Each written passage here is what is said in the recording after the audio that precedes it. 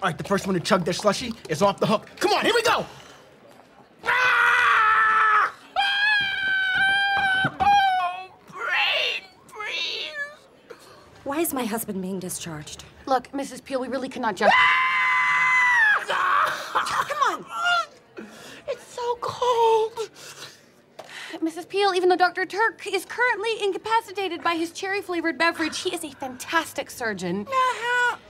And he didn't find anything. And I am a great doctor.